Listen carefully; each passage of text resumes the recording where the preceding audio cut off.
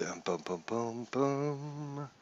Da da da dum bum. Da da da dun dun dun dun.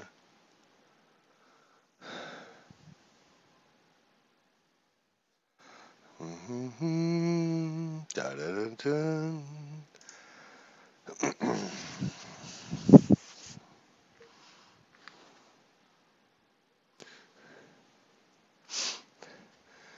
Alrighty, guys, so welcome back. This is your host, ID Jester, back in Panzer Grenadier, the Fall of France, 1940. Scenario number one, A Beautiful Morning. This is part two.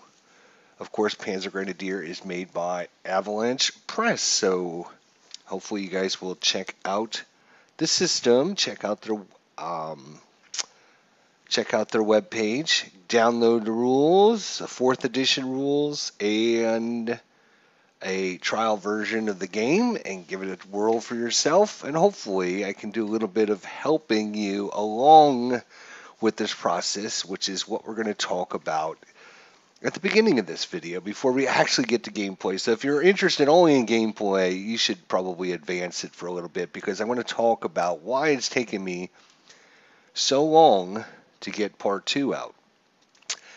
And the reason for that is because rules uh, the new edition the fourth edition of the rules are supposed to include much better examples clarify uh, things that were not in the first uh, third edition rules and kind of help players understand the game a little bit better. So as you know last time we ended up these units here attack this truck, and we were trying to decide what ends up happening to this truck, right? And there are some rules that, uh, let's just say the fourth edition rules don't help the Panzer Grenadier system as much as I would have liked because there are still a bunch of misconceptions in rules, the fourth edition rules. So I love Panzer Grenadier. I love Avalanche Press. I have nothing. Uh, we talked about the fact that they have done much better with their products, much better quality, much better look, much better everything since the first wave of Panzer Grenadier.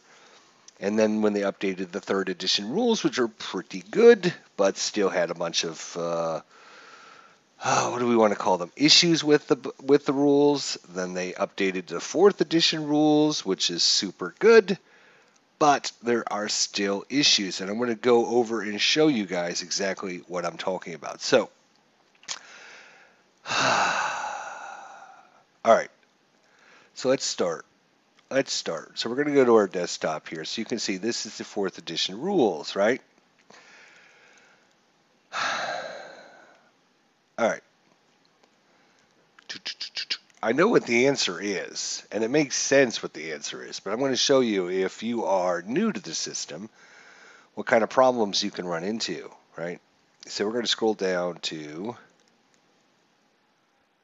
direct fire, anti-tank, anti-tank fire, right? Blah blah blah. So if you're looking through the rules, you're trying to find what can I do? How can I? What happens with this tank?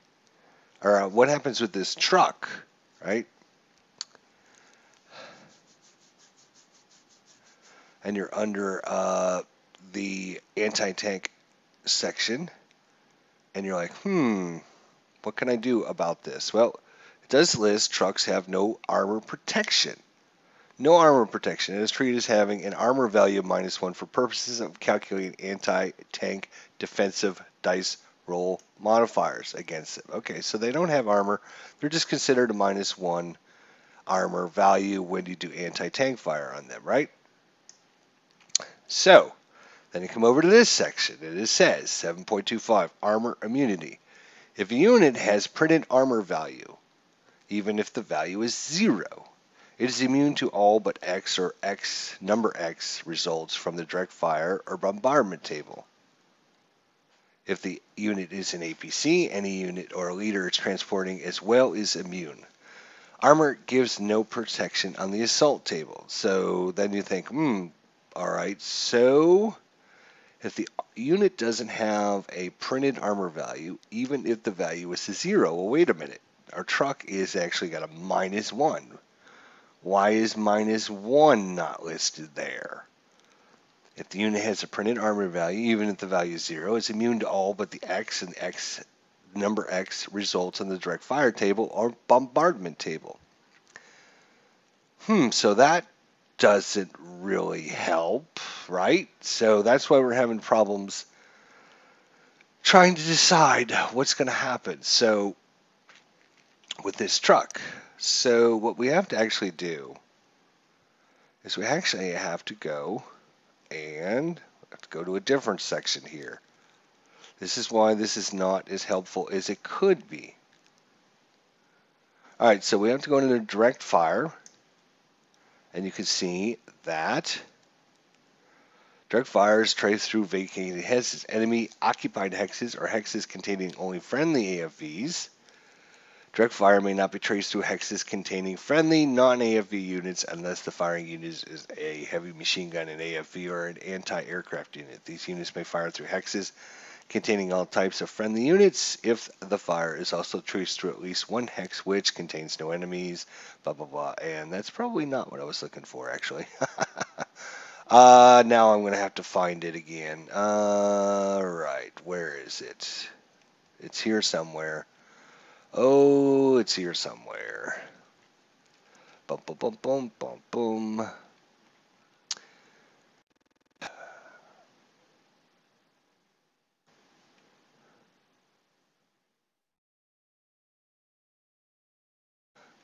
Okay, where is it? Uh,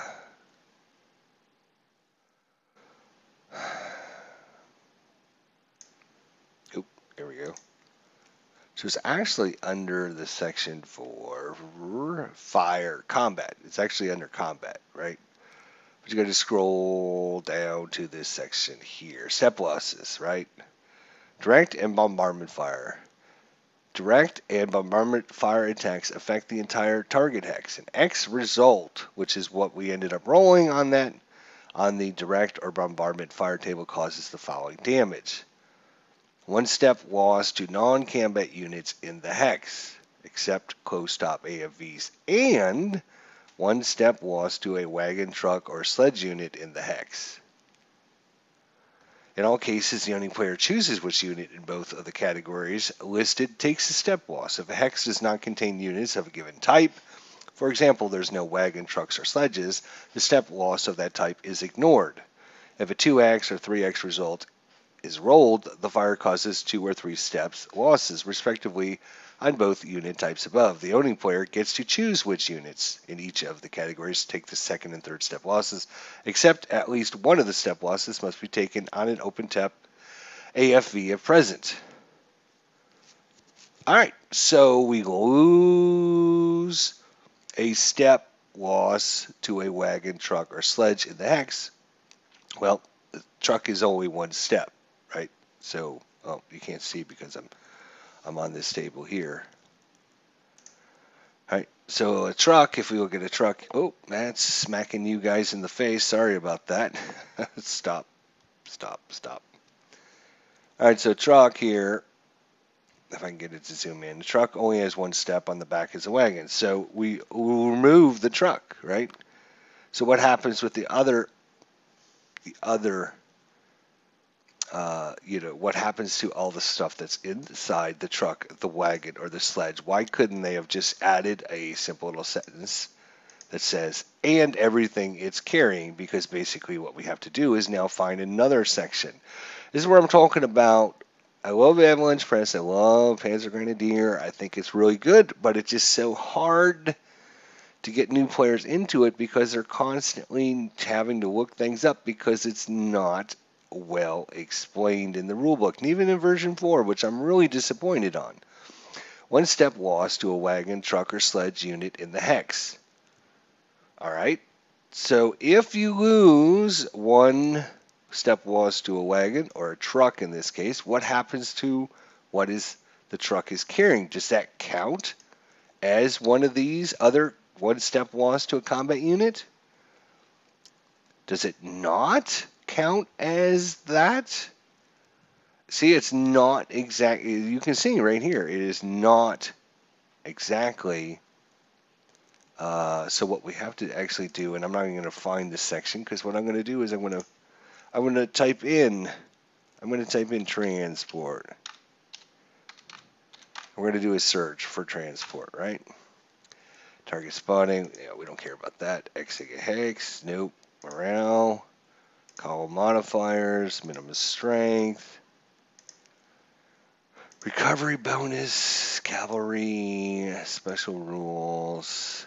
Nope. Uh, nope, that's not it. Nope, nope. Okay.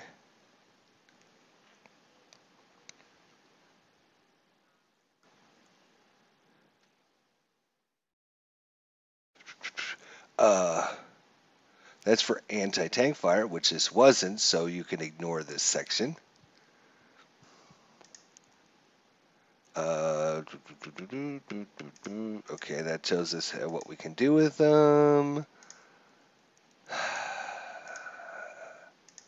Bump, bump, bump, bump.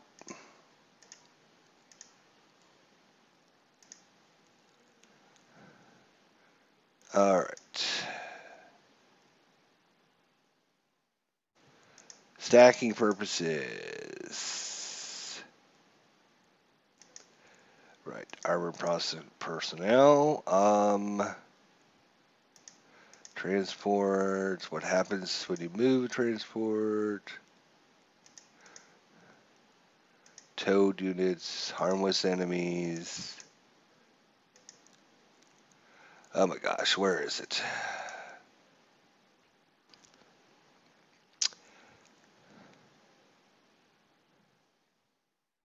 All right, here, I think this is it. Uh, when loading and transporting everything being loaded, no, that's transporting. Transporting personnel, transporting weapons, taking damage. Here we go. If a transport unit is fired on, everything it is transporting suffers the same fate as the transport.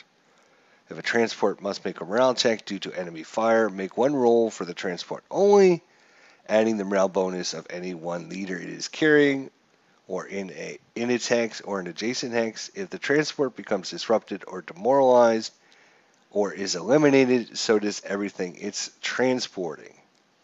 So one little tiny section that somebody has to try and find in the rule book to help clarify because I it's just still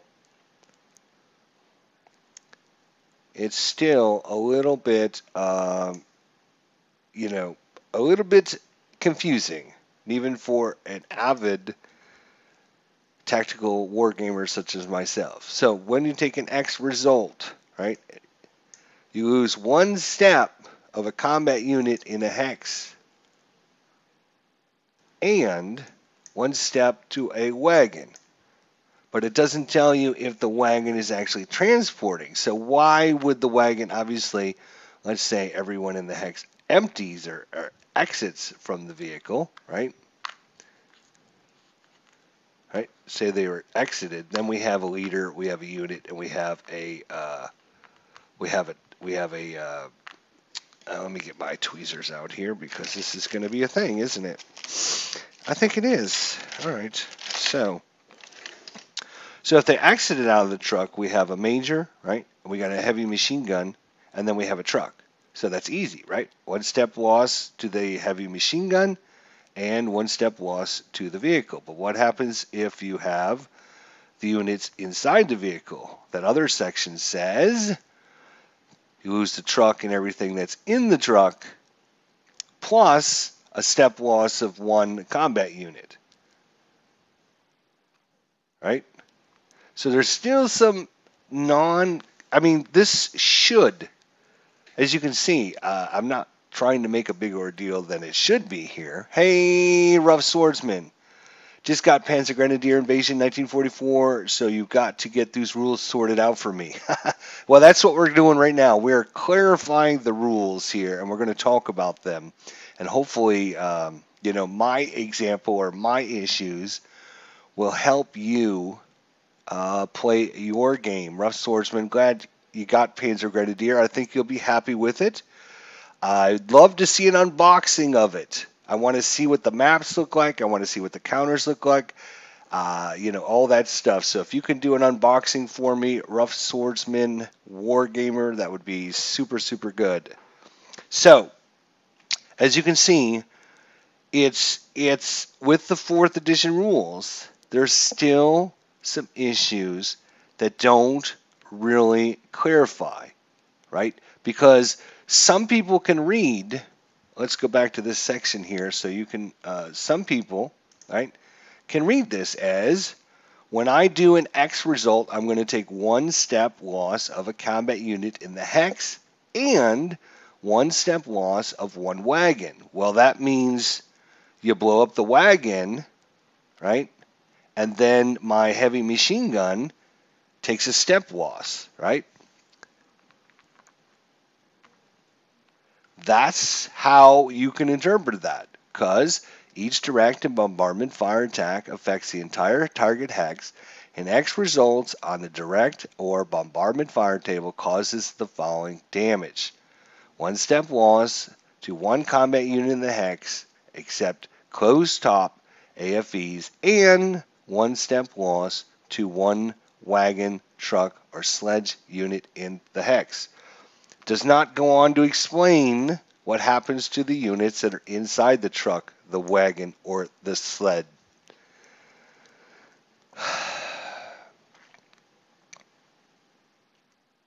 That's just one of the issues. We're going to talk about a couple of the other issues that because I basically spent the last week scurrying through this fourth edition rulebook. Again, I love Panzer Grenadier. I love Avalanche Press. I think uh, they do a a good job, and they've been doing better and better and better through the years at making their products uh, better for people, making it uh, easier to understand. But this this rule book is written from by someone. I don't know who wrote this, but they know the rules inside and out, and they don't explain everything as they should. Because uh, if we go to, there's another section here and I think it's under, right?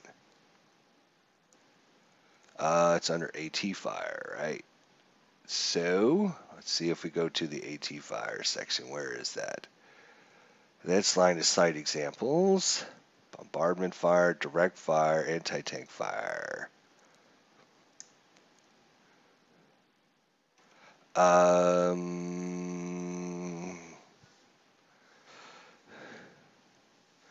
Okay, so here is another thing that can throw people for a loop. Have I tried the Panzer Grenadier Facebook group? Uh, no, I have not, to be honest. I mean, I know, I know the answers, right?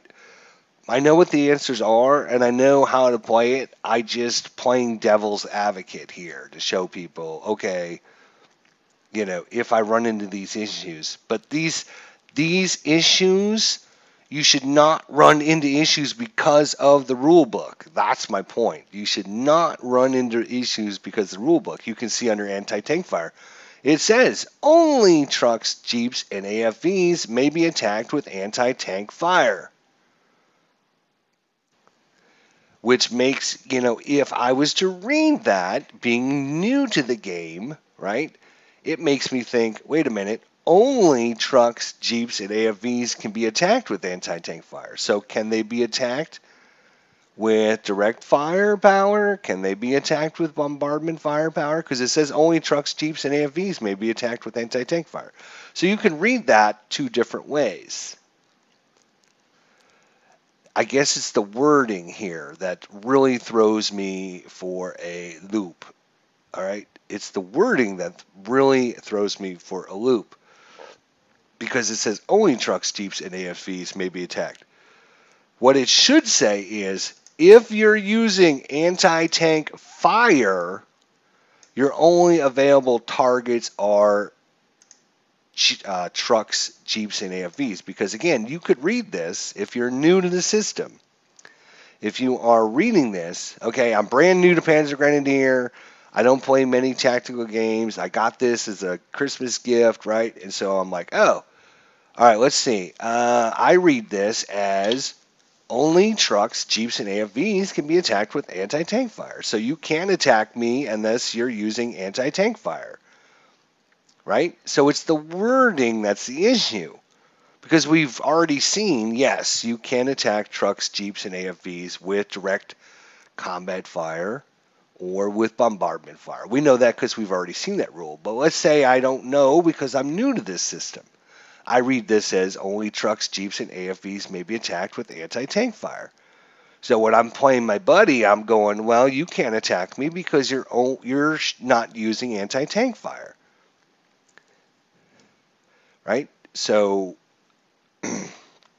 it should say when attacking with anti-tank attack, you can only target trucks, Jeeps, and AFVs. Now, does that make not a, a little bit more sense to you? I'm going to show you another. So we're going to go to the terrain effect charts, which are super, super, super important, right? And we're going to look at slope. All right, we talked about slope. We did a specific episode dealing with nothing but slope, or 99% of the episode, or 90% of the episode, dealt with slopes because they're they handle slopes much differently in Panzer Grenadier than they do in a lot of other games. You can see it says here, see note, see note, right? And the other thing I don't like about this fourth edition terrain chart is every single solitary item says C note, C note, C note, C note, C note, C note. Why couldn't they just explain here instead of having to go and see your note. Anyways, back to slope. Again, I I'm not trying to put Panzer Grenadier down. I'm not trying to put Avalanche Press down. What I'm trying to do is say they created the fourth edition rules so that there wouldn't be as many problems or issues. Okay.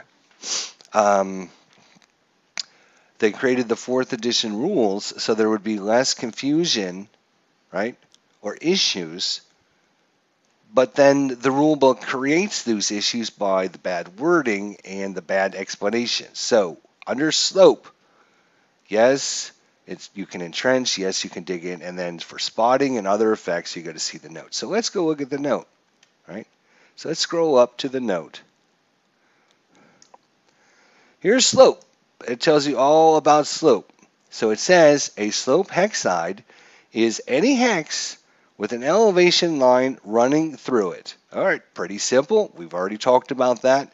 Here's the problem I have is part two of this sentence, representing the transition from a lower elevation to a higher elevation. That, my friends, is incorrect, right? Here's our map board. If I have a unit that is here, right, in this hex right here, and I move, I'm on a 40 hex, right, and I go to this hex right here, this goes from 40 to 20. So it, this slope hex does not represent a lower elevation of terrain because I'm going from a higher to a lower. So in that case, do you ignore the slope line? Do you not ignore, ignore the slope line? Again, bad wording. Bad wording in the rule book because, again, I'm on a 40. I go to this. You can see over here, this is level 20. It's a hill, and then we have another hill on top of the hill. So when I go to this slope hex line, it is 40 going down to 20. So it does not represent a transition of a lower elevation to a higher elevation. Which is exactly what it says in the rule book. Blah, blah, blah. The elevation line indicates an elevation of 20 meters or more above the adjacent terrain. Not true.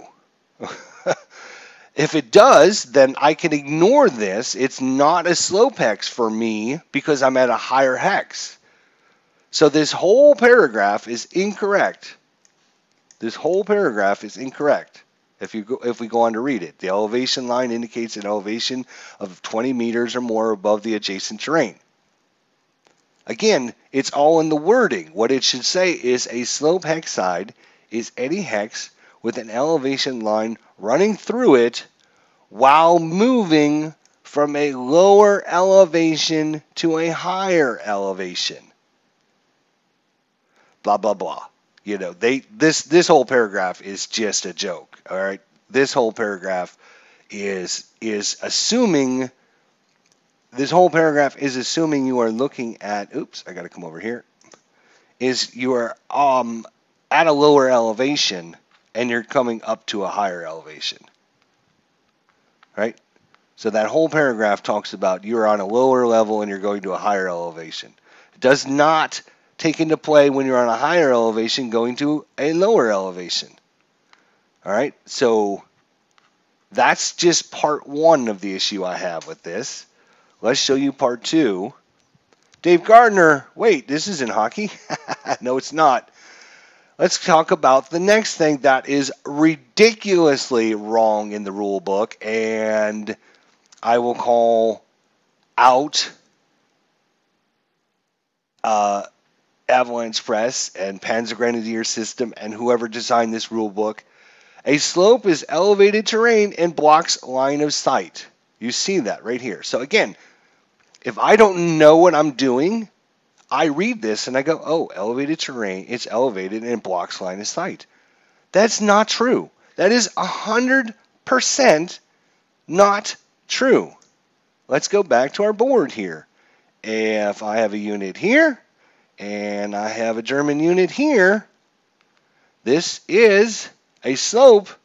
These two units can see one another. There is no blocked line of sight because of this slope.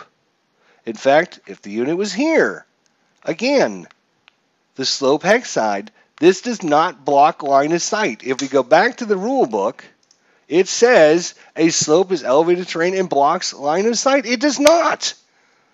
Only under certain circumstances does it block line of sight. So if I'm new to the game, I'm new to the system, I'm reading these inconsistencies in the rule book, and I'm like, hmm, wait a second. Slope is elevated terrain. So if I'm used to other war games out there, I'm looking at this situation. I'm going, oh yeah, my guy's back on the hill, so you can't see me, so we can't see one another. That's not how Panzer Grenadier does their slope hexes. Because this slope hex is closer to the higher unit, you can look down the slope at this unit right here. If this was the case, uh, let's put this unit back here, all right? Because the slope hex is closer to the lower unit, I can't look down the slope at this unit, so no, there is no line of sight between these two units. But in this case, there is line of sight between these two units. So line of sight is not blocked by slopes, which if you look at the rule book, it, it says slope is elevated terrain and blocks line of sight. So that is some of the some of the issues that I've come across in the fourth edition rulebook. Again, it's it's not that it's this rule is wrong, all right, uh, but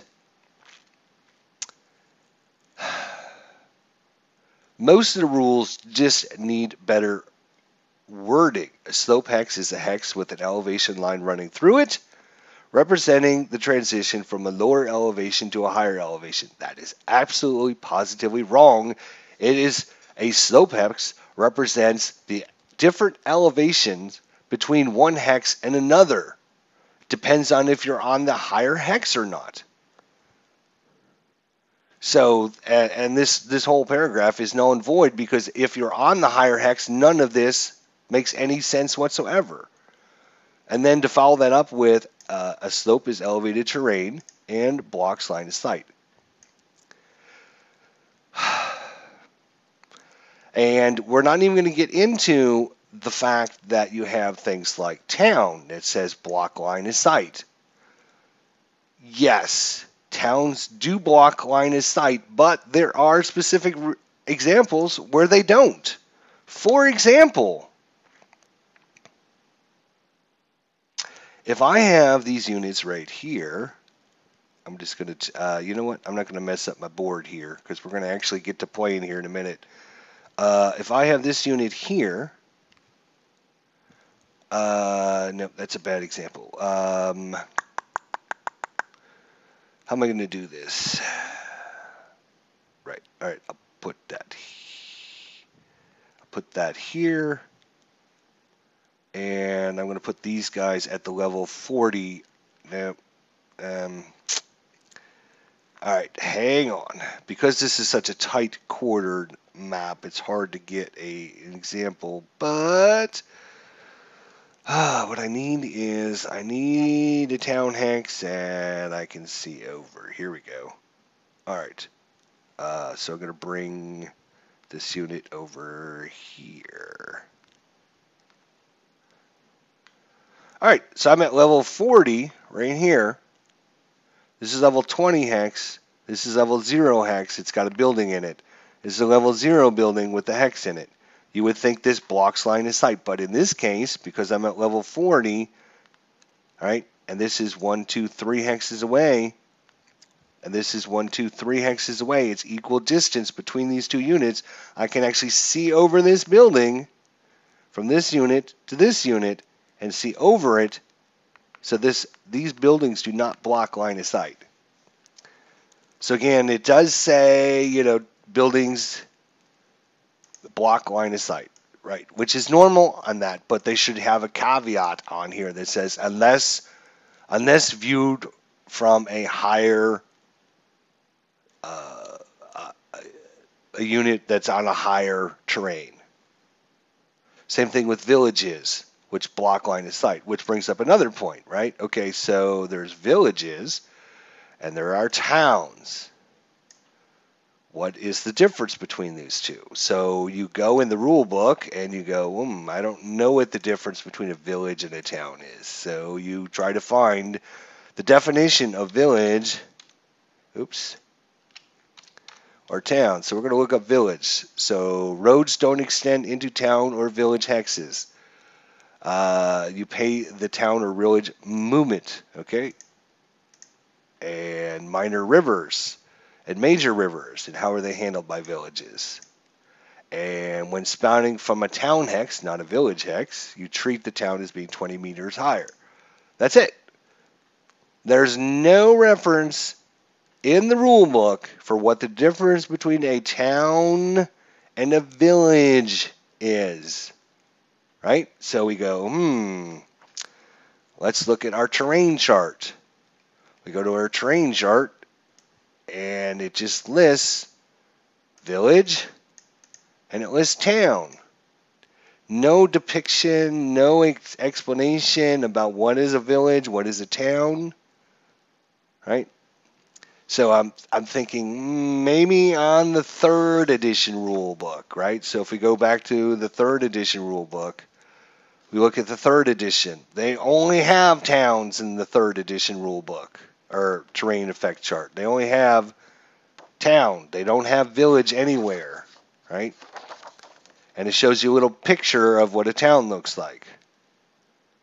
So then I'm thinking, well, maybe, just maybe, it's in like the scenario book, which we sh we showed you about, right? So what what you know, the, all the special rules for this scenario, right? So I'm thinking terrain. It says all terrain uh, from Panzer Grenadier rulebook and tables are in effect. The fall of France and some additional terrain types appear listed below. They are light woods, hedgerows, trails, railroad, railroad embankments, and sunken railroads.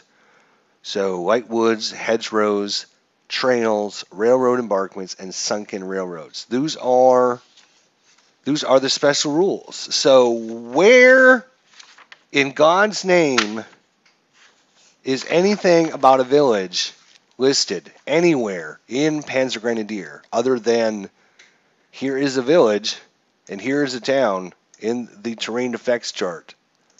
There's absolutely, I can't find, I've been looking for information on what's the difference between a town and a village. Is, uh, you know, what I would guess, right? If I'm just guessing, if I'm just guessing, I'm thinking a town, right, is going to be multiple hex stacked adjacent to one another, while a village is just a single hex. That's what I'm thinking. Or is it based upon how many buildings are in the hex? Like uh, if you have three buildings, it's a town hex.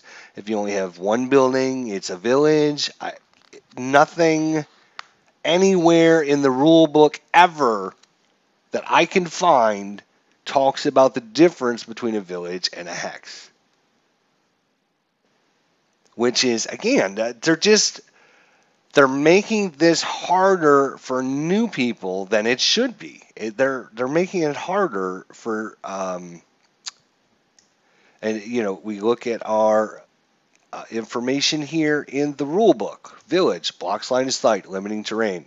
Town limiting terrain, adds 20 meters and blocks line of sight. That's the only thing it tells you about the villages and the towns. So, it's here's what I found. Excuse my voice, good lord. Here's what I found, and unfortunately, the fourth edition rules don't do anything to help new players. Absolutely nothing. Which is why I hopefully will show you guys a little bit of this information, right? So that you have a good example. Hopefully, I won't screw too much of it up because I interpret the rules possibly different than the way you interpret the rules just because you can go to a certain section and say, well, this says, you know, um, only tanks, AFVs, and APCs and trucks may be attacked by anti tank fire. You can point to that rule. Or, you know, I mean, we're just we're just covering some of the basics. The problem is the problem is Avalanche Press, whoever writ, wrote, whoever written, whoever wrote, there we go, whoever wrote this rule book is obviously a Panzer Grenadier guy. They played probably hundreds of scenarios. They know everything in their head and when they transfer to the page, it doesn't help new players, right? What they need to do is have someone that's not as familiar with the system write the rule book. So they will explain it better and use better words, I guess. Anyways, that's enough of my rant. You've done listen to it. Um, again, this is nothing against Panzer Grenadier. It's just it's sad. It really is that they they need to clarify a bunch of this stuff. They need to they need to just use some better wording. They need to just fine tune this. I was under the impression the fourth edition rule book was so much better because it gives some nice examples, which it does give some uh, nice examples and stuff. But there's still some inconsistencies, as I showed you you know, on all their charts, right? Look at the terrain chart. See the note. The note says the slope is elevation line running through it representing a tradition a transition from a lower elevation to a higher elevation and slopes are elevated terrain that block line of sight. That's not true at all, especially especially I can understand how they say towns are block line of sight and village block line of sight and woods block line of sight because that is all assuming the same level. But when you're given the definition of a slope, the slope describes at least two different levels of units. So you can't say that a slope blocks line of sight. Of all the places in the rule book to have where it blocks line of sight, you can't use slope because you're talking about two different levels. All right, that's done. Let's move on.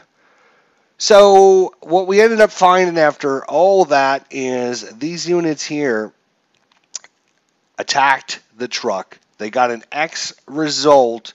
The X result is going to blow up the truck, which is going to blow up everything inside the truck. And even though you could interpret the rules differently, which is really bad because inside the truck for the Germans was the Gross Deutschland heavy machine gun, a full strength one, by the way, and a major. Now, Panzer Grenadier has what they call catastrophic loss. Is that the catastrophic loss one? Hang on a second.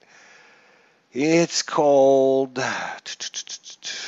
Um, hmm. yes. So catastrophic loss. Anytime a unit of major or higher, a leader unit that's major or higher, is killed, all units stacked with that unit have to undergo an immediate morale check, and they subtract the morale modifier instead of adding their morale fire morale morale modifier. And this represents, you know, the major really good at rallying his troops, and now that he's dead, they're really bad. So you can see this major here, if I can get it to focus, which would be super cool. Right? He has a plus one morale modifier. So if when this major dies, um,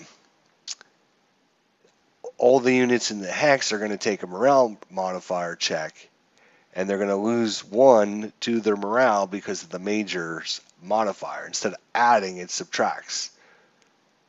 All right, so that is catastrophic loss anytime you lose a major or higher. Now, the other thing is they also have decapitation. So if the highest ranking leader on a side is eliminated, each unactivated leader must immediately make a morale check. If any of them fail, they are marked with move and a fire marker. Moved fire marker if they fail.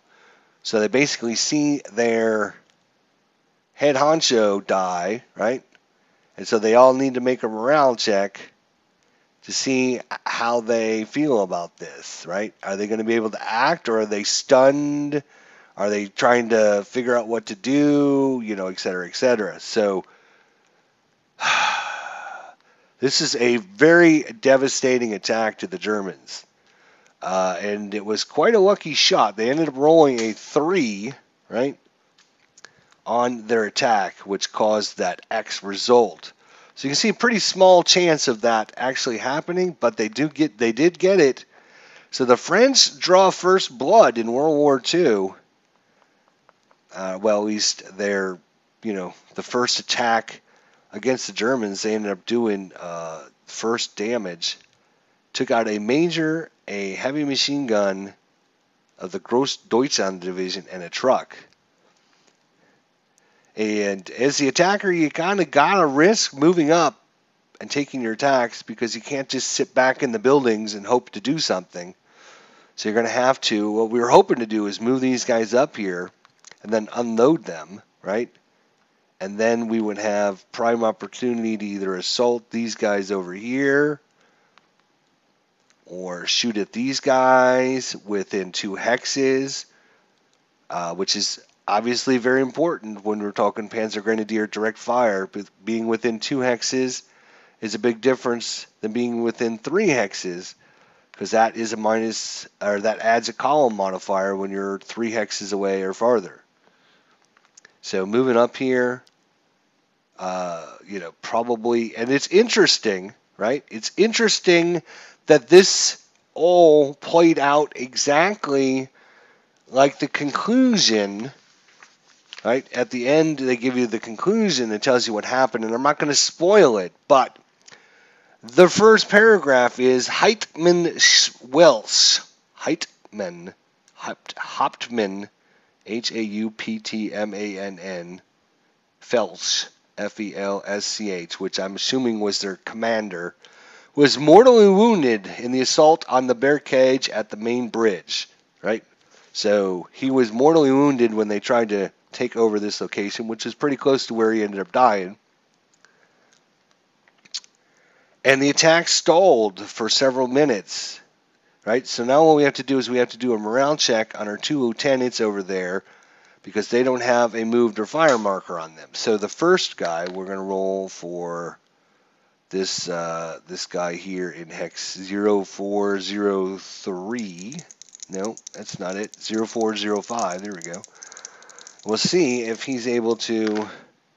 He rolled a 9. His morale is a 9, so he's successful. And then we'll roll for the lieutenant behind him. He rolled a 5. So both of the uh, both of our leaders, fortunately, are pretty high morale guys. So the fact that the major ended up dying. So two important things again. Catastrophic loss, anytime you lose a major or higher, all the units stacked with that unit uh, have to undergo a morale check, and then of course decapitation when the when the side loses their highest ranking leader, right? Then all the other leader unactivated leaders have to make a morale check. Now, what happens is the next turn, right?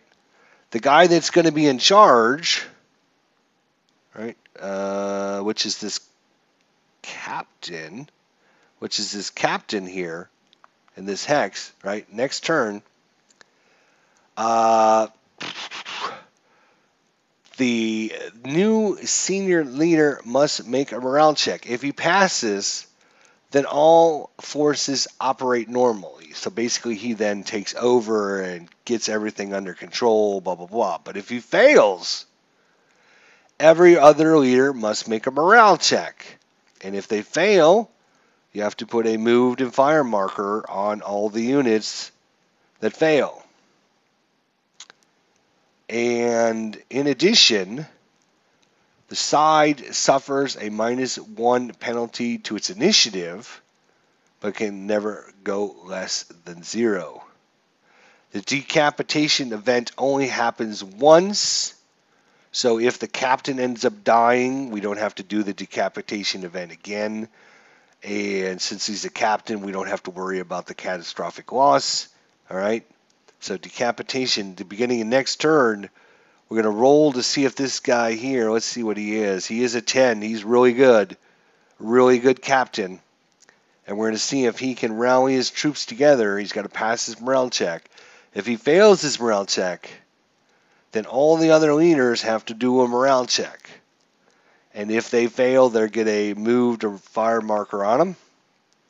And we also lose one to our initiative because our highest leader killed. And we lose one to our initiative because we lost two step unit. So as you remember in the beginning, mm-hmm.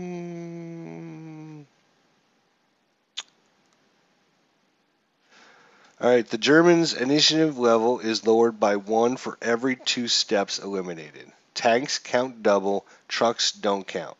So the the uh, two step, have uh, what was it? Heavy machine gun, right? Heavy machine gun, yes. So that's going to cost us one point, and then our uh, our uh, decapitation costs us one. So our morale, or our initiative, which was three, all of a sudden goes down to one with that one attack.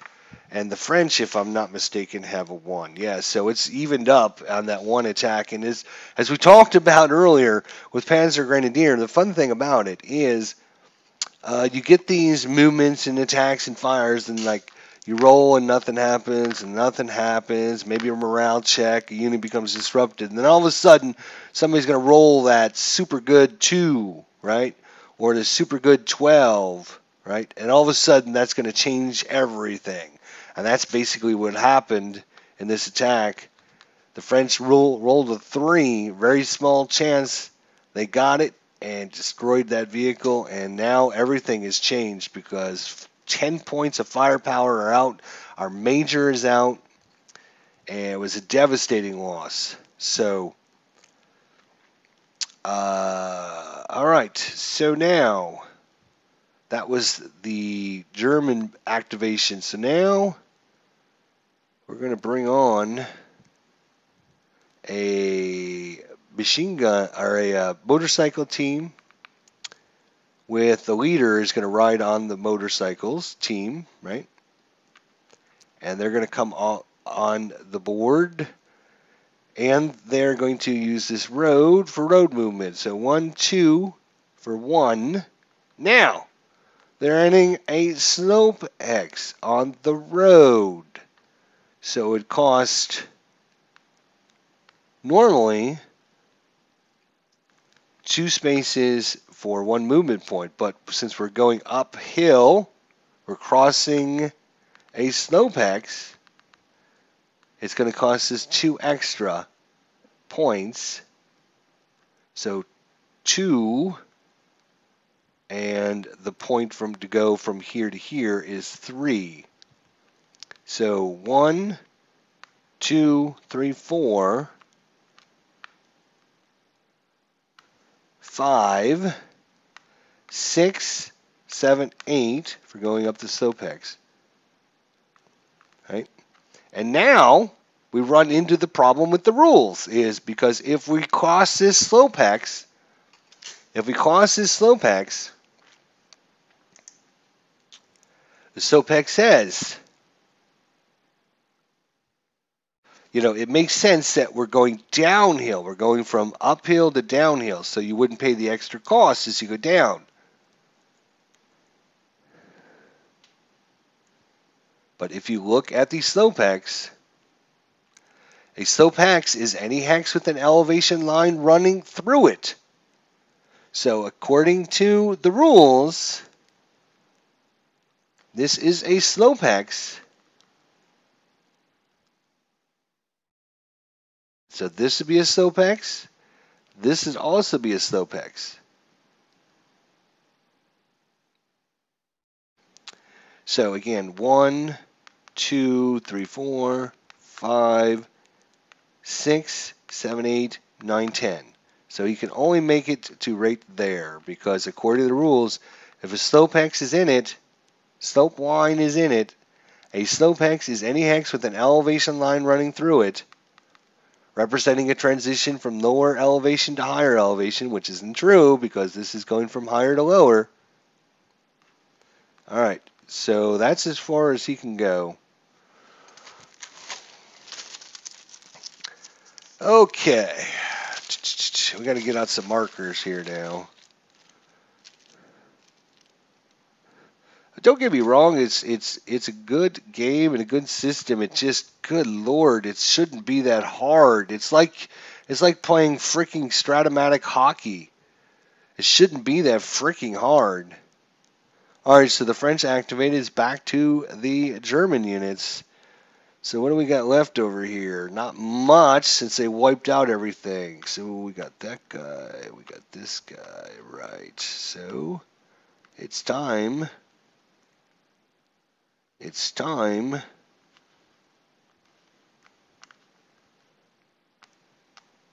All right. So what we have is we have a leader a truck another heavy machine gun gross deutschland division. How far do we want to move these guys up? Clear hex. A clear hex. Clear hex for our truck costs is two, and we only have eight. Most of these guys are spent. This, I think this guy was spent, and maybe the little counter fell off it, if I'm not mistaken. I think he is spent though, because there was a counter on the floor, and I think it was must have come off of this guy. I think he was spent. I think he had taken a second shot. Uh, actually, Maybe I don't remember. I'm just going to mark him that way because I thought he was spent. All right, so you can see most everyone's done. The Germans do have some units to bring up. Now this is where you run into problems as a defender, right? Because we could just move right up adjacent to this guy, and there's nothing, nothing he can do about it because he's got no. But well, he does have these guy, this guy back here to shoot. So this guy could use an AT fire at a range of four. So he, uh, I don't think the roadblock blocks line of sight. Let's see. That is a special rule in France, and of course I knocked them all over. Oh, and by the way, because all these guys are in limited terrain, but they've shot, right? All these guys are in limited terrain, but they've shot, so they are all spotted as well. This, these guys have been spotted. And there's rules on how to get rid of that spotted counter, but let's see if I can find another one here somewhere, maybe. Come on. Really? Nope, can't find any more. Spotted, there we go.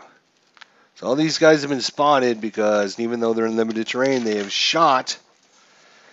All right, so the roadblock um, units are set up in a hex containing a roadblock marker and treated as being dug in.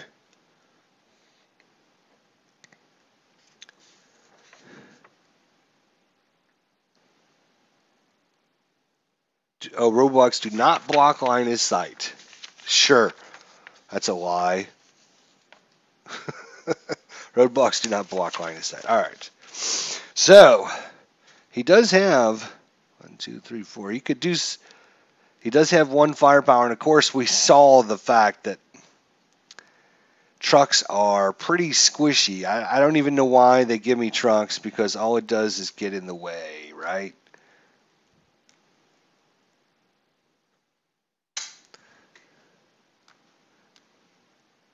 So the first thing we're going to do here is we have this mortar team. So the mortar team, 81 millimeter mortar team, they're gonna they're gonna they're gonna shoot at these guys up here at the top of the hill. This heavy machine gun up here. There's a leader up there. They want to shoot at these guys.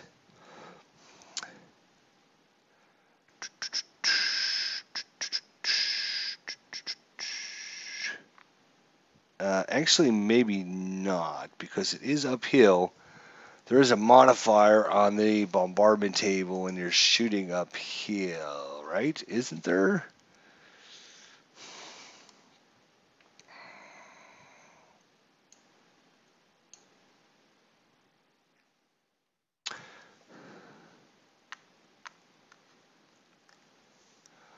Uh,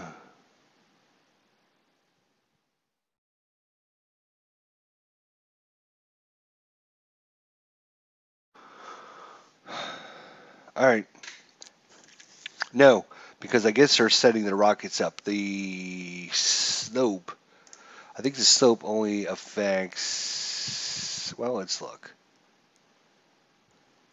Yeah, minus one to direct fire and minus one call, minus one attack AT fire. If firing unit is at a lower elevation, right?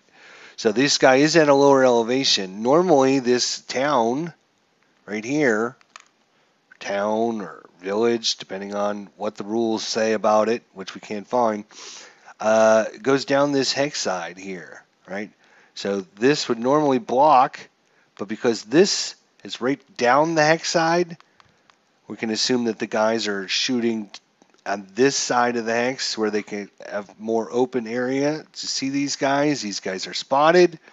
So we have uh, 8 firepower, 10 spaces away, plenty of range there. Germans have to get them back now. They didn't realize the French were actually going to shoot back here as they it's supposed to be a beautiful morning. The Gross Deutschland singing songs, invading another country. They're not shooting at us. And then all of a sudden, damn. All right, so we have modifiers. The modifiers are going to be actually not anything bad. We get a plus one modifier because the unit can actually see the unit. So say for example we wanted this mortar unit here, my big hand's in the way here, wanted to mortar these guys. Well this, this hex here is a building hex.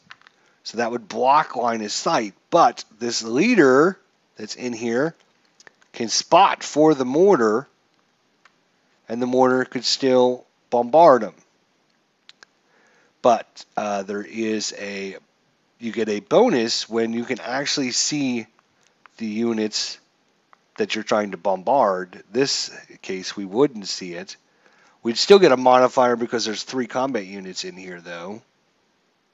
Uh, but we would also get they, these guys are in the uh, dug in, so they get a they would get a minus one and a plus one. So it's better to attack these guys because we're going to get a plus one and no minus one. So we're going to we're going to uh, switch over to the desktop here so you can see our bombardment.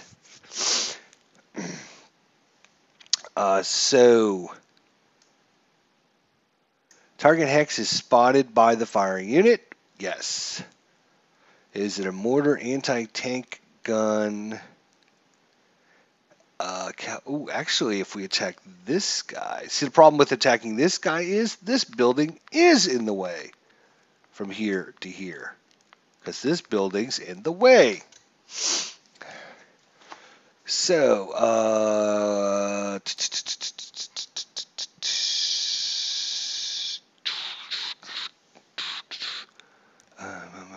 I don't think I see anything else.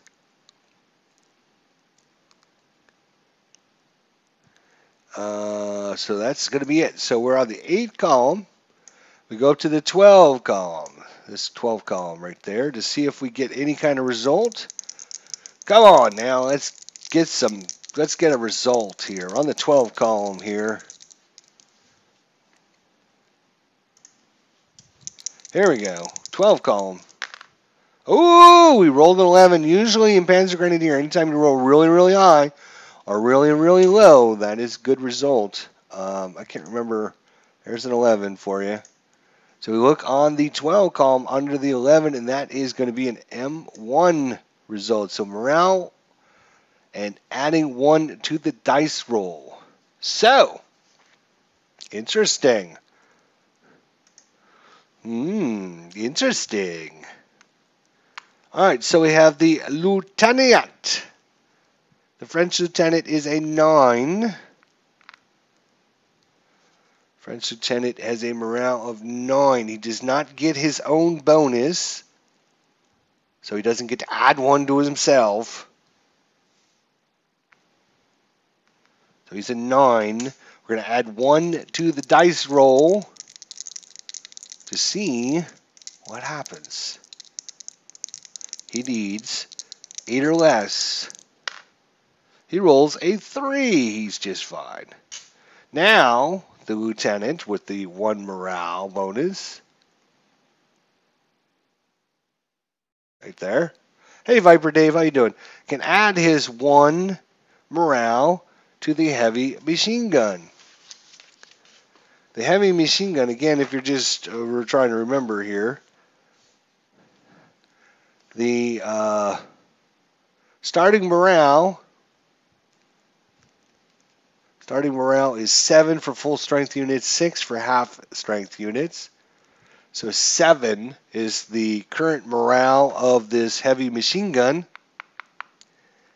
He gets a plus 1 to his morale from the lieutenant. So he goes up to 8. But we're going to add 1 to the dice roll because it was an M1 So he's going to need a 7 or less. He rolls a 9. So this is going to be our first chance to see what happens when a unit fails its morale. Do, do, do, do. Alrighty. So. Who do, do, do, do.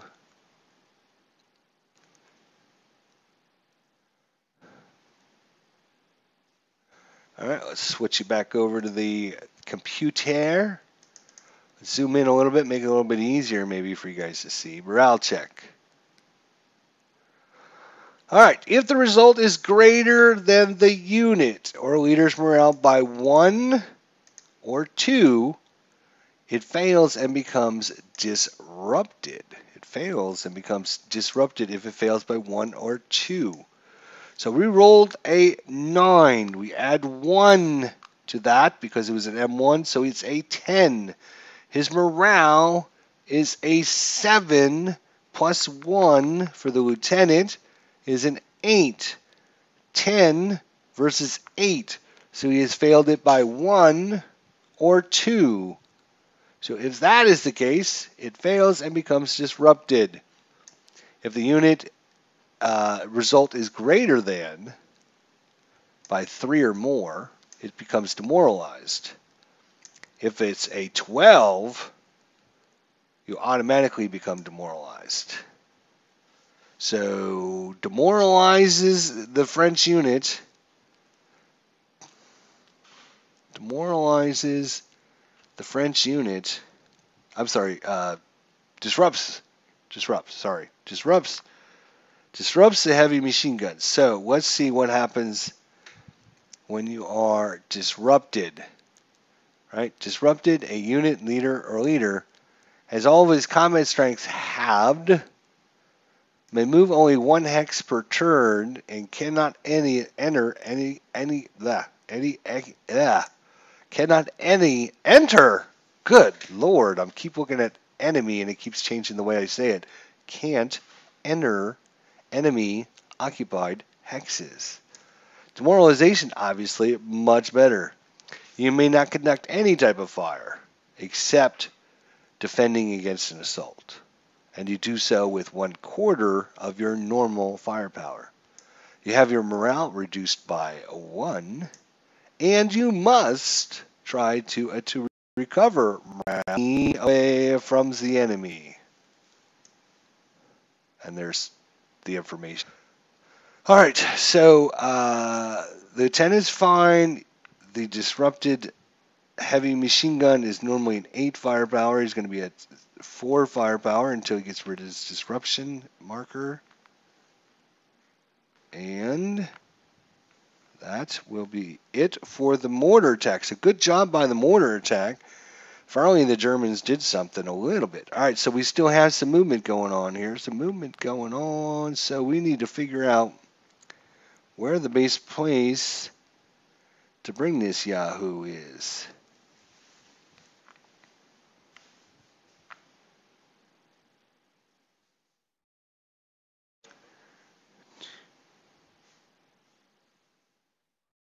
Mm, can't bring them into these woods. That's going to be a problem. And the problem is, uh, all right, so if we look at anyone, right? So let's look at these guys here. So we have a truck, right? And we have a leader, and we have a unit inside the truck, right? When you move the truck, counts against its movement points. When you decide to unload, right? Unload, it costs one movement point to unload those units outside the truck. So these units empty out of the truck. And then the truck can keep moving if you wanted to or run back to wherever it was going. But these units that end uh, exit the truck cannot leave the hex that they enter.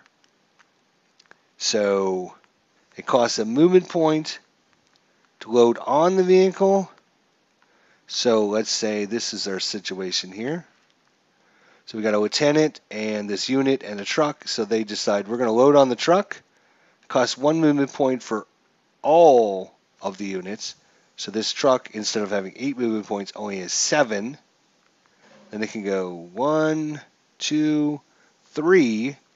Drop off those units for one movement point. So it's up to four, five, six, seven. And these guys that emptied out can't exit the hex that they emptied out in. So that's that's basically it counts one oh uh, hang on a second. Did I do that right? I want to make sure. So it costs one to move into the truck. So the truck has seven movement points left. Two uh, count because we're going along the the um, the road, right? So this is so one to load them up, two, three, four, five to unload those guys, six, seven, eight. So yeah, so the truck could pick them up, run up here, drop them off, and drive back.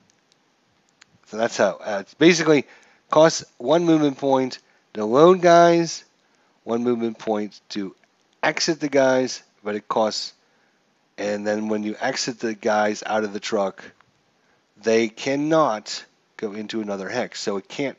You can't uh, move this guy here and then drop these guys off and then have these guys have extra movement points to move in and do fancy dancy things. So, anyways, uh, so these guys were here.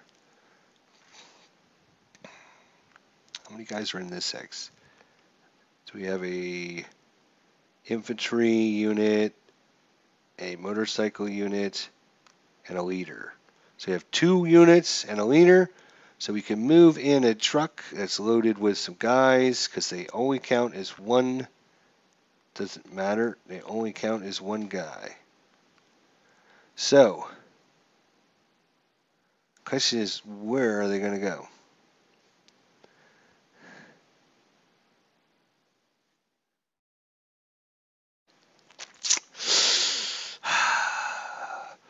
We need to really find a good position to we need to start I mean we could drive right up here and unload and then we could have a massive assault on the on the barricade here which could be dangerous if we don't disrupt these guys or inflict any kind of damage. So what I was hoping to do is get into this hex right here because it's a nice building hex set up our heavy machine gun uh, you know, both of our heavy machine guns in that hex and just because it's only two hexes away, which is perfect spot. Perfect. Unfortunately, stupid French have that spot.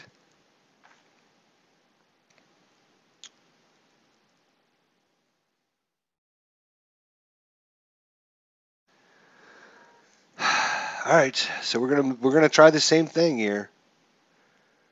All right, this could be this could be the end of the Germans right here.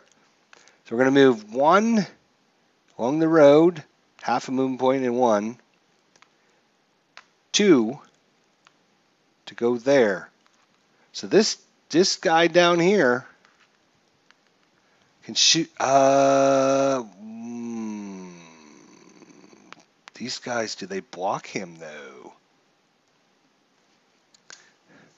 Let's see the rule.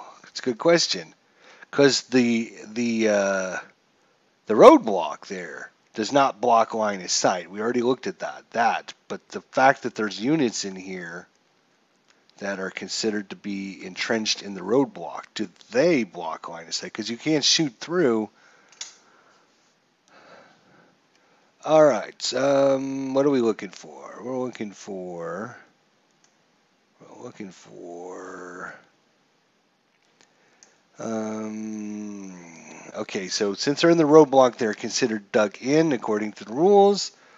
Any hex except blah, blah, blah, takes us to do, do, do, fired marker on a unit during each segment that it digs in, digging in, blah blah blah. After digging unit marker is placed on the unit, it gains all the benefits of being dug in. Defensive column modifier, first fired assault.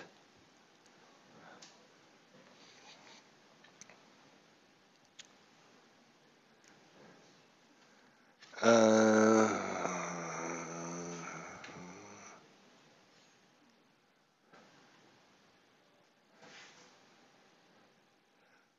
hmm, it just basically talks about how to. So let's do direct, let's look under direct fire section, block fire.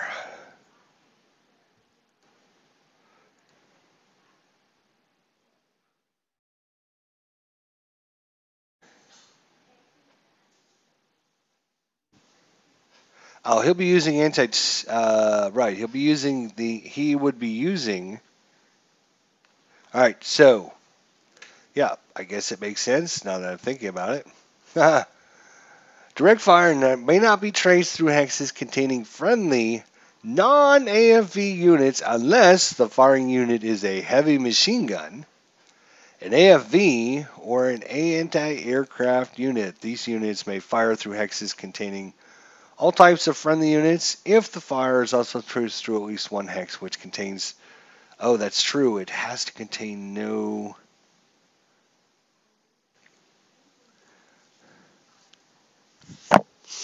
hmm.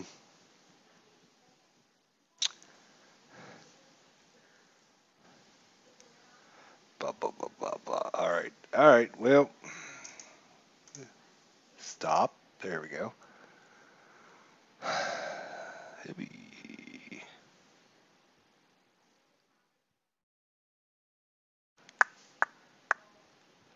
So he can't actually shoot from here to here because he can't, you know, see the units. It's too close to his own units here. Being dug in, I guess, I would think dug in units would not block that, but it does not say that. So, mm-hmm, that's, I see. So the German are still moving, so that was two movement points to go there. Ugh.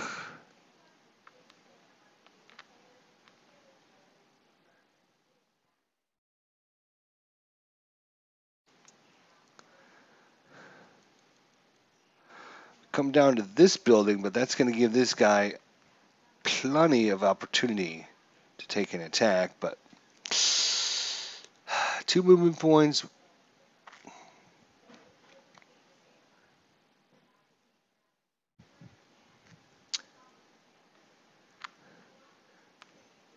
He's going to go there and there.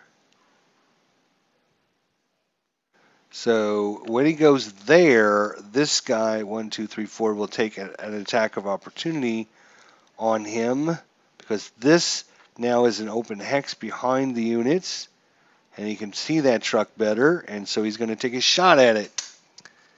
So he has a firepower of one a minus one, so two added to his dice total. That's not good. He's going to kill another one of our units, isn't he? Six plus two is eight. Nothing happens. Thank God. And this guy is marked. And so that was uh, one, two, three movement points. One movement point to unload those guys. So we're going to just put these guys under this marker here. Put the truck on the bottom of it. And these guys back here have fired. All right. So, nearly. Here we go. We're going to, French are going to bring on these P-78s here. P-178, sorry. Uh, they're kind of off the board just a little bit here, but you'll see them come on here in a second and uh, since they have each of them have their own leader, they will activate together. They have 11 movement points. That's going to be one, two, three, four, five, six.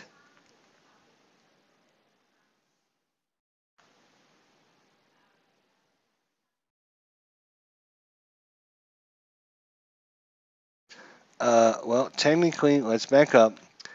One,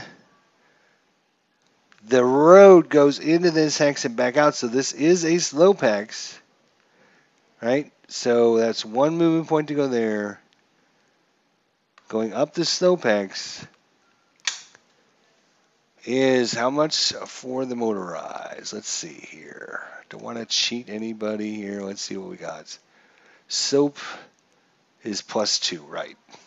So it's going to cost him 1, 2, plus 2. So that is 1, 2, 3, 4, 5, 6. Oh, yes, that's right. The towns. Right? It costs you the full movement point to move in the towns, so you don't get the road bonus going into towns. Fortunately, it only costs one. So one, two, three, four, five, six, seven, eight, eight, and eight, nine,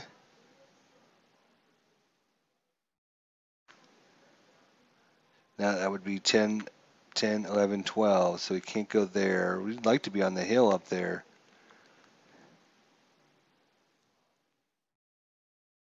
One, two, three, no, one, two, three, four, five, six, seven, eight. So it's eight to there. Alrighty.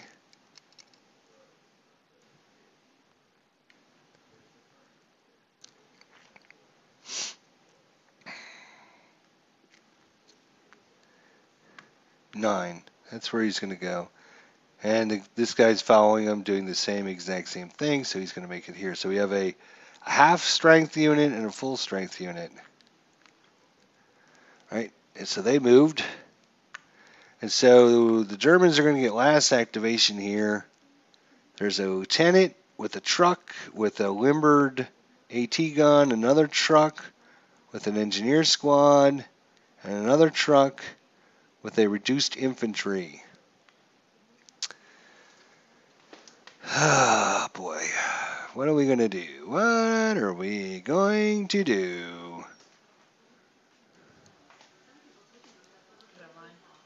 Yes? What do you need? What do you want? I'm a winner, winner, chicken dinner. Huh? I'm a winner, winner, chicken dinner. Winner? They reevaluated the golf standings. I came in second place, Oh, so I got eight fifty plus my close er, chip in. really? Well, that's good. Winner, winner. All right. Sorry about that, guys. Um, so, what are we going to do with all these guys? Is the question. We want that AT gun up here somewhere where you can shoot. Let's look at its uh, stats. So there is his stats. So it can uh, two firepower, three range against infantry, two firepower, six range against AT shots.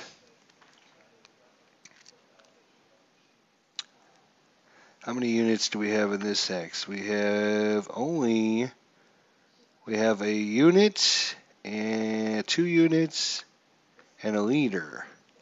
Again, can be a little problematic to have two, three units in because they get the column shift, more guys in there, but we still need to have line of sight to some of these things.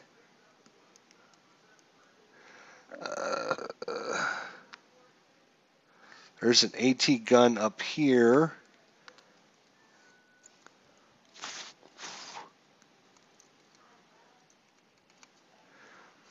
Just not a lot of cover, to be honest.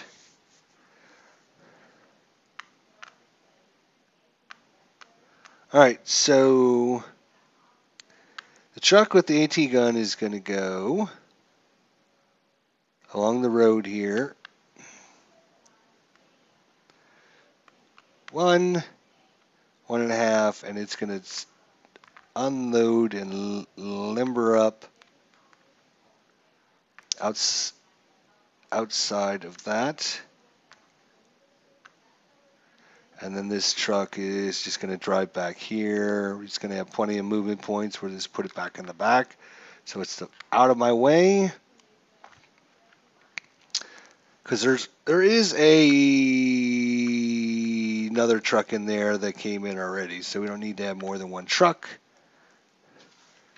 Now this truck here with the infantry and the half squad of infantry.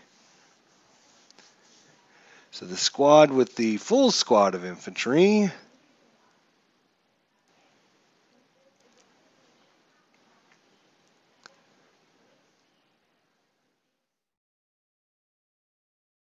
Where are they going to go?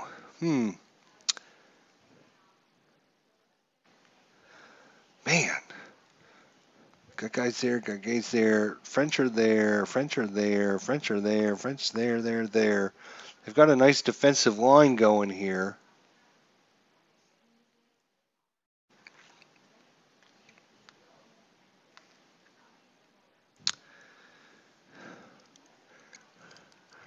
I like to get a guy up here. Problem is, do you we have to use the road to get up there?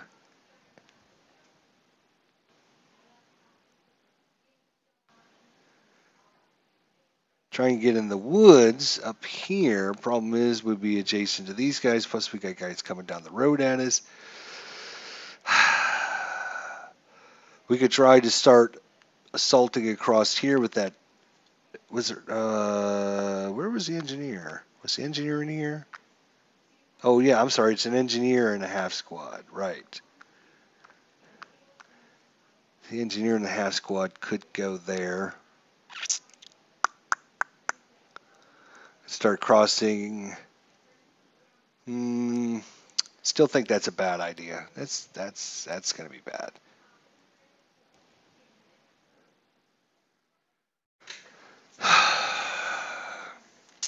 It's just not a lot of good areas to go right now. We're gonna have to overstack. We could go here, be three hexes away, but we get a column shift because we're shooting uphill. The French are definitely have the advantage right now. If I was to just be honest. All right, so this lieutenant is coming in the truck with the engineers, and they're going to go somewhere. One, two, they're going to unload right there out in the open. Yeah, I know, stupid, but that's fine. And then they're going to move back three, four, five. He's got plenty of movement. And then this engineer is going to do the same thing bring this guy, drop him off, and drive back. So we're going to have a bunch of trucks back here doing nothing, which is fine.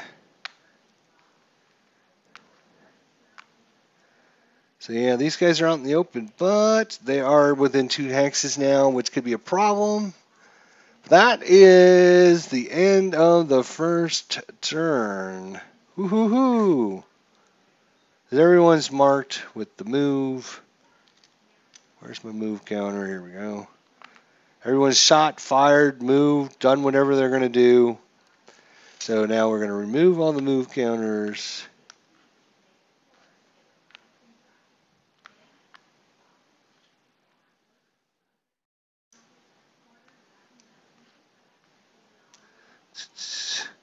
The guys that are spotted stay spotted.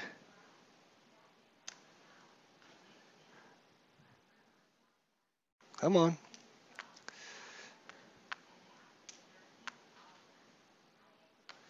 There you go. All right. So before we do initiative, before we even do anything with initiative, we got to roll for our Capitan here to see if he gets things under control because of our our uh, catastrophic loss there. Or yeah, I think it was it. I keep getting the definitions between these two because of our what's it called?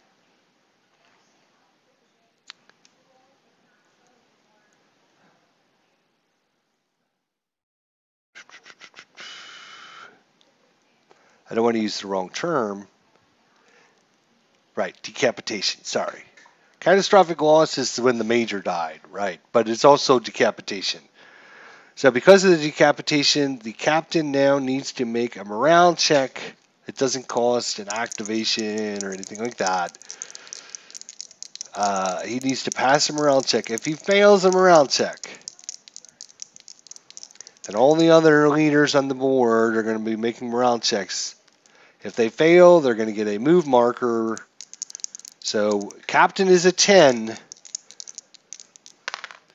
He rolls a 4, so captain's now got everything under control for the Germans. And we will start with initiative for the next turn. But we're going to call this episode right now. But should we roll initiative first so I can think about. Yeah. So the French are the white dice, the Germans are the black dice. Each one gets a plus one to their initiative roll. Ooh, the Germans are going to win. So that's going to be huge. So 4 plus 1 is 5. 1 plus 1 is 2. 5 minus 2 is 3. We have the 3, which is 1.5, and we round up. So the Germans are going to get two activations before the French can do anything. And this could be huge. Because if they can get some disruptions or, you know, things with especially, oh, shit. Especially with these guys that are up close and personal. That's why the fact that the French took out the major and the heavy machine gun was so important was because it could cause some serious um, morale issues within the German army. Unfortunately, it didn't for them, but having that heavy machine gun blow up and the uh, leader or the major the heavy machine gun two steps, the major another um, minus one to initiative minus one. So instead of a three initiative, a minus one or a one to initiative. So otherwise, the Germans would have three activations before the French. So unfortunate, unfortunate for them. But now at least I got a chance to think about what the Germans, who, what attacks do they want to perform? What are their most important attacks? And again, we have a captain here who's adjacent to a lieutenant. So if the captain activates, he will activate everyone in his location and adjacent location, which means there'll be this lieutenant and these guys for one activation. So there is a possibility to get multiple activations here. This mortar unit, you know, he's back here outside the range of any leader, but he still can activate with himself use his mortar attack. He just can't enter a close hexer to an enemy. Not that he would probably do that as a mortar unit, anyways. Um, so I will analyze and figure out what I wanted to do. Actually, this guy didn't activate last. Uh, did he activate? Yes, I think he took a shot. Right, right. So he did activate. So this guy is also spotted. Uh, yeah, because he's just in a roadblock hex. So we should put a spotted marker on there just to make sure we know he's spotted. Just to make sure these guys are spotted as well. I'm not sure why their uh, little marker went away. Because they shot a million freaking times. Seemed like they shot a million freaking times. So these guys are spotted. These guys are automatically spotted because they're out in the open. These guys actually are not spotted other than within three hexes because they didn't. Oops, and this leader fell over backwards. Um, where the hell did these guys come from? That's a good question. Motorcycle. All right. Oh, they came around this way. Right.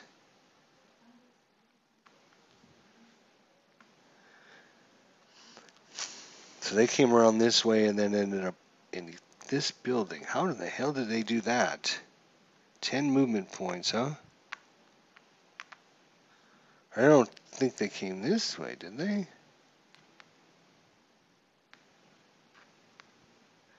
Uh, yeah, there's no way they could have made it that far. I think I screwed up on something. Because they only have 10 movement points.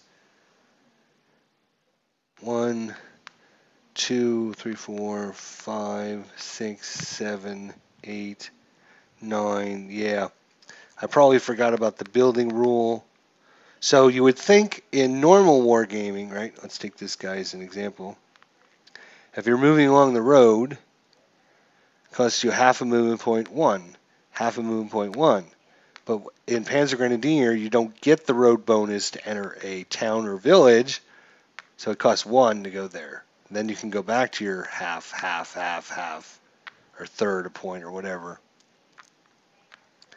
So there is some interesting developments here as we go into the 11:15 hour. Alrighty, rough swordsman, wargamer, Viper Dave, Dave Gardner. Y'all are awesome. Thanks for coming on by. I hope hope you enjoyed our episode two. And we'll see you all next time here in Panzer Grenadier to see if we can figure out what the Germans are going to do. And I'm still trying to figure out the best angle for this camera without it being in the way as much as it is.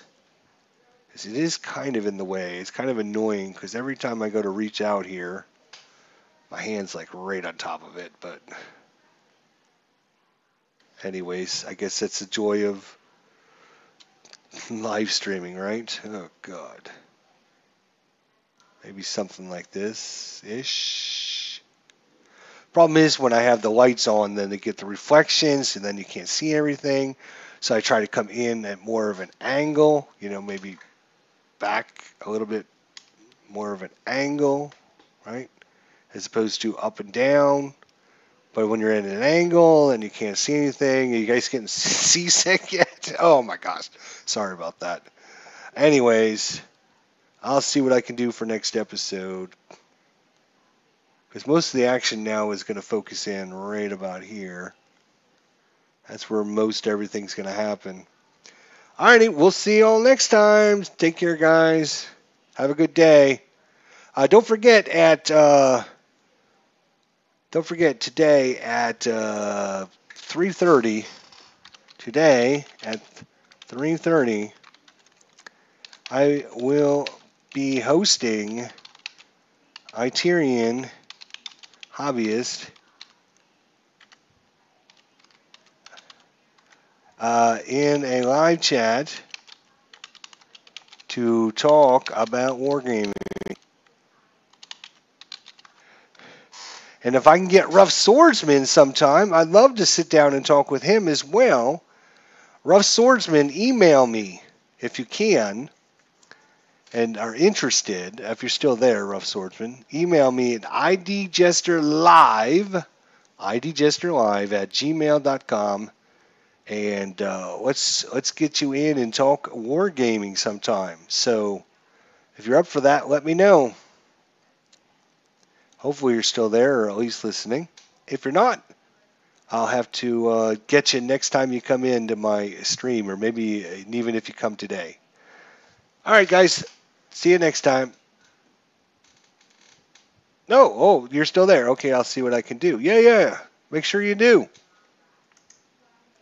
We'll talk to you soon. Hopefully, email me, idjesterlive at gmail.com. And if you can come by at 3.30 today, if you're interested, let me know. All right, we'll talk to you soon. See you guys.